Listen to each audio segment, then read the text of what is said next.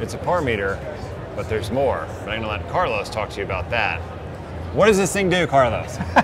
Well, it's a par meter, but actually it can also measure spectrum, give you the Kelvin, and lux and peak.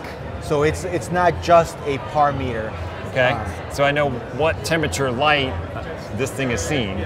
Yes. It gives me an accurate spectrum of whatever light I pointed at. Exactly, and it comes great because in this hobby, sometimes we have a hodgepodge of lights. Yeah. You know, you can't just. You know, it's nice if we could buy all the same lights, but sometimes we buy separate lights, and then we're trying to figure out, okay, this lights, I like the color, and things are growing. Let me look at the spectrum, and I'm going to try to recreate that in my frag tank with a different light.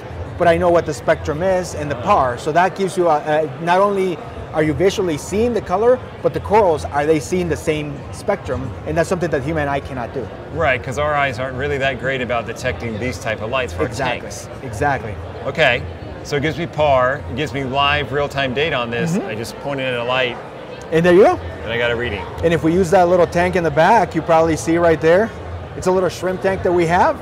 And that And you can see a little more blue in there. That's why it's a little wider, but you still see a little bit of the reds in here, which is great for planted tanks. Okay, so this is corded. This plugs into a device of some sort. Correct. No, actually, that, that's the cool thing about it is that you don't have like a hub or, or main device. Yep. You can plug it into an Android. You don't even need an app. You plug it into an Android that has a little adapter, and then you go to this website, and it automatically will re- start reading. So you can carry it. It also works on a Windows PC and a Mac. It does not work on an iPhone, and it's not because of the the device. It's because of security concerns with Apple. Well, is China like getting my par readings right now? Is that what's happening, Carlos? What are you doing? Actually, it's more like it's more like Apple does not want you to open up a website that maliciously turns on your camera. Ah, because Yes. that happens anyway. Okay, that- so yeah, the, the- the fact that this, I got to plug it in anyway, so I'm more likely to plug it in my laptop Mm-hmm. and look at a reading, because then I'm not trying to hold this and look at this at the same time. Absolutely, but you know, at the same time, you know how we are gadgets clubs. Sure. And you know, you go to the thing, or you go to the, your local fish store, and you want to see what kind of light they're doing because you want to recreate what they're doing Okay. and see what's going. That would be a very handy thing to just plug into your phone, go over there, and measure things. And I bet you, the owners, they'll be like all over They'll it, trying to see what's going on. You know? Okay. How, what's the price point on this? It's going to be two ninety nine. okay.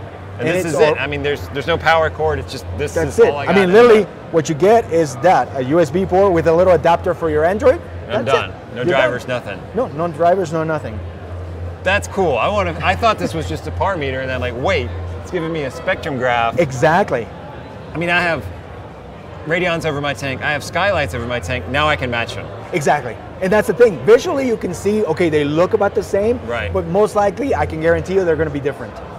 They're going to be a little bit different, so you can make tweaks Yeah. and then get it to work. Yeah.